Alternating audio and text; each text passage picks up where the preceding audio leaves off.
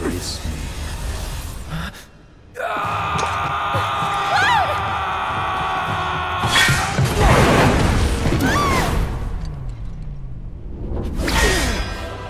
touching reunion. So, what exactly is tension? There are many different ways to define it, but I think the best fit for today's video is a state of uncertainty and lack of knowledge. Tension creates a calculated vagueness over the outcome, an uncertain expectation of an event, similar to suspense. It's to give the audience something to be afraid for, and, and what that means is something that will become an obstacle, some sort of conflict within your story. So, for example, in Outlast 2, our main character Blake is trying to reach his wife and escape the cult within the mountains. The tension could be the different factions like the cult under Papa Knoth or the heretics led by Val that are preventing Blake from reaching his wife. They provide tension because they are constant threats to the main character and you never know when they will become an issue or if Blake will actually succeed. Basically, to create tension is to create questions. What's gonna happen next, or how will these characters get out of this situation? Now, in general, games use tension in the same way as literature or movies do, but sometimes that tension can be applied to your own actions as the player. And that's what makes them very different, such as how will my character here, his name is Poohbutt, overcome this boss in Elden Ring? The answer is I didn't, but if you're watching this live, the tension would be will I succeed or not? I think you get the idea, and it's important to note that tension isn't strictly linked to horror or mystery, as I first thought. There are actually four different types of tension that a game can use, and I'll give you examples for each one. So, without further ado, my name is Josh, and I hope you enjoy.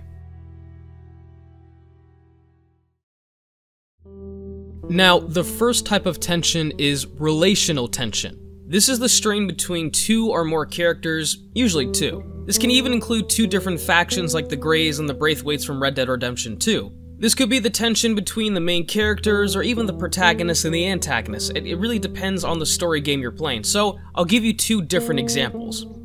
Not her, you know. What? Maria told me about Sarah. Ellie? And You are treading on some mighty thin ice here.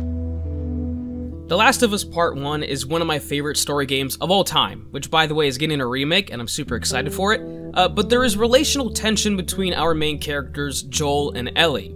See, Joel is tasked with transporting Ellie outside the city to the Fireflies, but as they travel, they face the infected, dangerous landscapes, some of the last people on Earth. But what I think provides the most tension in this story is the tension of their relationship. At first, they don't seem to get along, Joel only viewing her as some kid, but as they go about their journey, they start to form a father and daughter type of bond. The climax of their relational tension happens when Joel decides to let his little brother Tommy take Ellie the rest of the way there to the Fireflies. Ellie, when she realizes that Joel wants to get rid of her, runs off, and when Joel finds her, they have an honest conversation that emphasizes how much Ellie cares and how much Joel doesn't.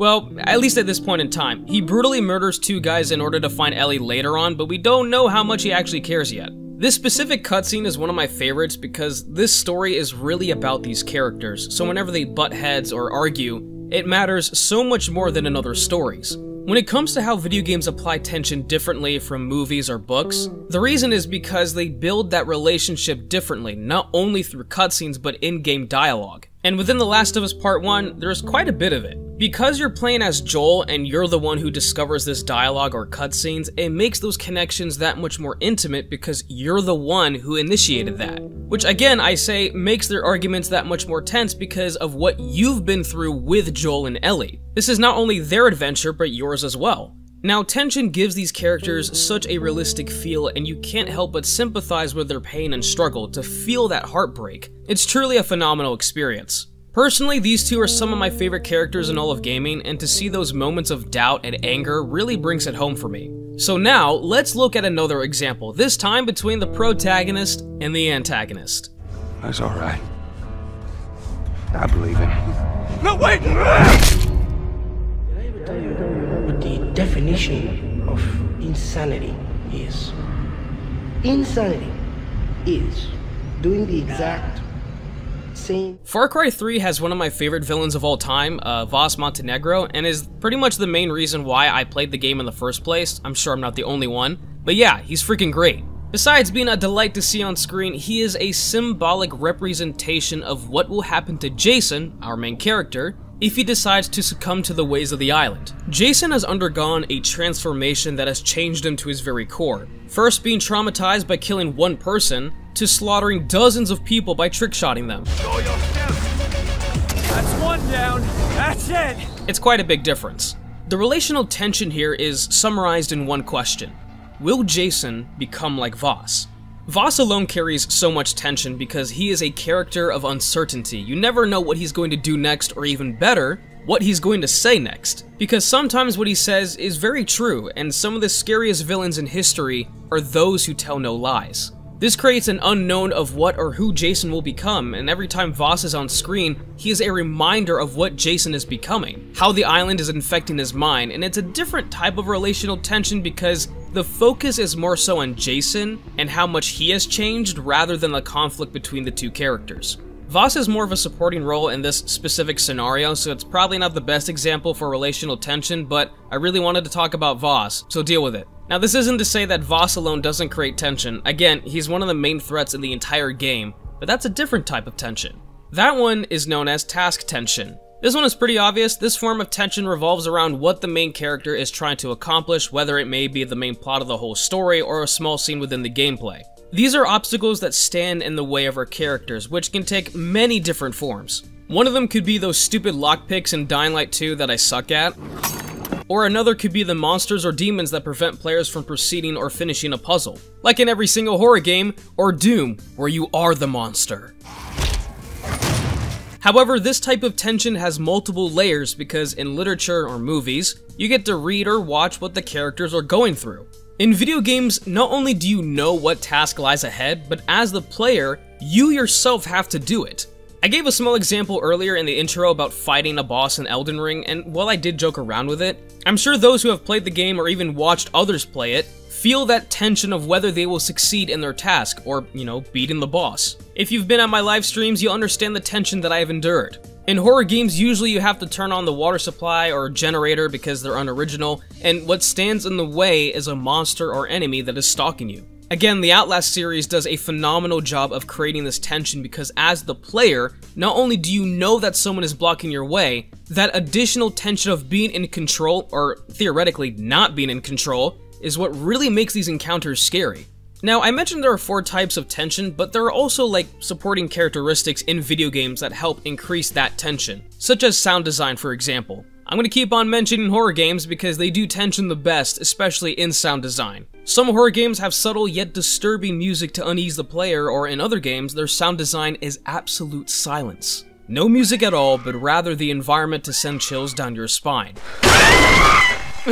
How did that get into the video? Sorry, it's not like I'm the one editing here. But yeah, I don't think I need to explain this category of tension any more than I already did, because it's pretty much self-explanatory. Now the next type of tension is surprise tension.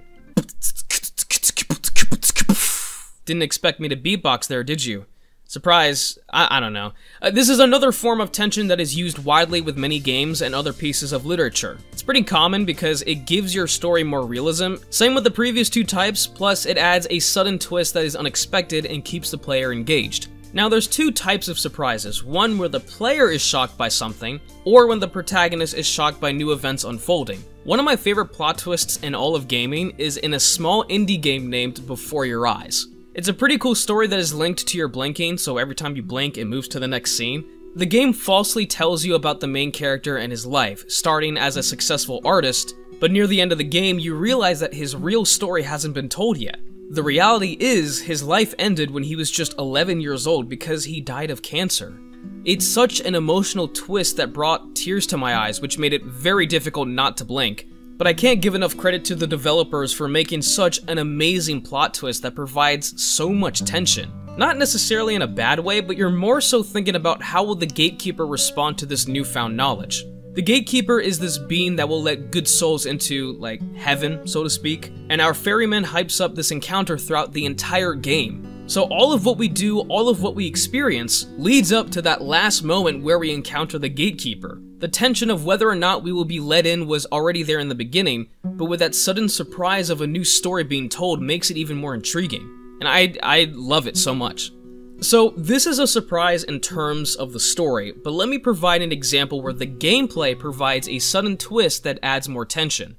Monster Hunter is a game all about hunting monsters. I don't really think I need to explain that, and if I do, you're already too far gone. Uh, but there's really no surprises here. You pick a quest, and an image of the monster appears on the first page. But at least you know what you're expecting. That is, of course, unless you're hunting Qurupeco. Qurupeco is a neat bird wyvern that they really should bring back, but he has the ability to mimic other monster roars. So when all of a sudden this funny looking bird does this, I start to question if he just summoned the devil. Nothing happens for a moment, but then out of nowhere this huge dinosaur appears, and suddenly you're in the middle of a monster gangbang. Funny enough, this monster's name is Deviljho, so I was kinda right. When you compare the two monsters, it doesn't take a whole lot of brain power to understand that this bird is an easier monster to fight, while Deviljho can literally one-shot you when you first discover him, and this is how many players will find this monster for the first time. It's unexpected, it's exciting, and it's a wonderful form of surprise tension that not only adds tension for the rest of the fight, because he doesn't leave, but it gets you pumped to face Deviljho once you're fully equipped. I remember when I saw Deviljho for the first time during this fight, I was I was scared. because I never heard that roar before, and to see this huge pickle come out of nowhere that can literally eat the monster that summoned him really had me nervous, and again, it's a really unique way of adding tension that only video games can do.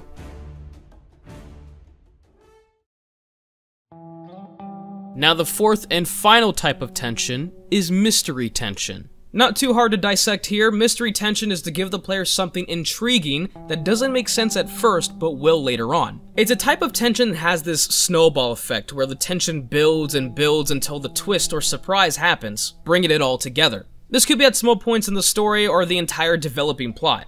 So let me give you an example that has nothing to do with the story but rather with online multiplayer.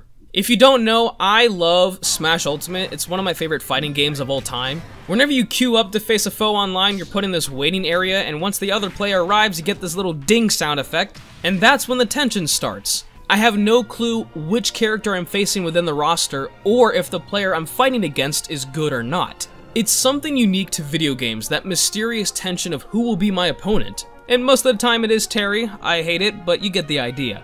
Now, let's go to a different game that depends on the story for its mystery. Shadow of the Colossus. Shadow of the Colossus is a one-of-a-kind experience with more questions than answers that all revolve around the Colossi. The Colossi are these gargantuan creatures that really don't speak or have any backstory. We understand in the beginning of the game that we are hunting these behemoths in order to revive our waifu, but the question then becomes, do the Colossi have the power to resurrect?